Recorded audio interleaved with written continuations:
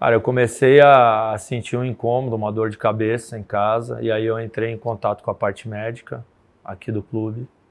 E eles me orientaram o que fazer, essas dores foram se agravando. Três dias depois eu comecei a ter crise de tosse. Fiz o, mais um dos testes, né, como protocolo do clube aqui, e acabei testando positivo.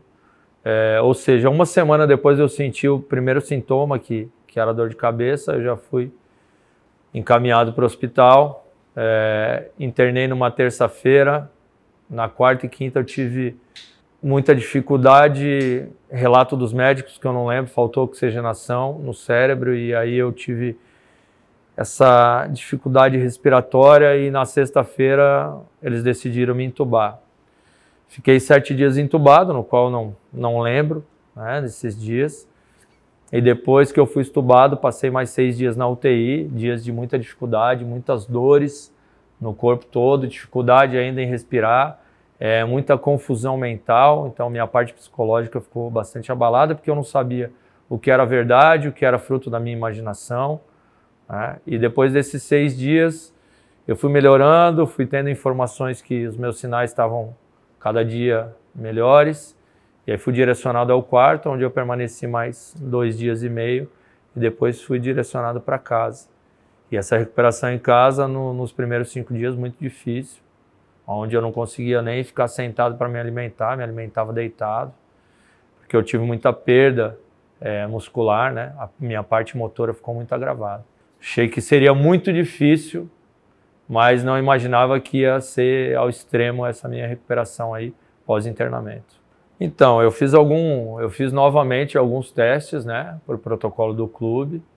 É, o clube me deu toda a liberdade e teve toda a paciência comigo, com meu retorno gradativo, de acordo com a minha sensação. É, até evitavam que eu passasse muito tempo no clube para que eu não tivesse um desgaste muito grande. E cada dia eu fui conseguindo evoluir em, questão de tempo, passar mais tempo dentro do clube. Comecei a me exercitar e fui recuperando a minha parte motora, a minha parte física é, e a minha parte de segurança, né? De estar no dia a dia novamente. Então, assim, foi um dia após o outro, eu tendo uma melhora significativa a cada dia. Quem me via num dia, já me via no dia seguinte, já percebia uma diferença notável aí, né? E agora eu estou me sentindo extremamente bem, seguro para fazer o que eu estou fazendo. O clube, lógico, tem o cuidado de estar tá perguntando e estar tá preocupado, né? Coletando informações diárias, mas hoje eu tô, tô bem tranquilo aí e bem perto de conquistar minha, minha forma física total. Confesso que não, a princípio, não na expectativa de estar tá no banco de reserva, né? Mas só de poder voltar a atuar, estar tá participando dos jogos.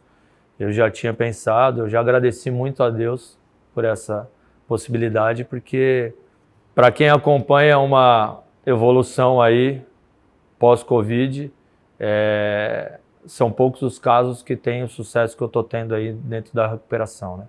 Então agradeço muito e sei que é um momento muito especial para mim. Ah, eu acho assim que a missão, a maior missão é levar informação, né? Poder replicar essa informação e cada pessoa vai, vai absorver o que é de bom para ela ou não. Se eu pudesse deixar uma mensagem é que as pessoas tenham consciência que é necessário se cuidar, é, não se cuidar só em relação ao vírus, mas cuidar da, da sua saúde, né? Se eu não fosse um cara ativo, fisicamente, provavelmente eu não teria uma reserva de saúde para lutar contra essa doença.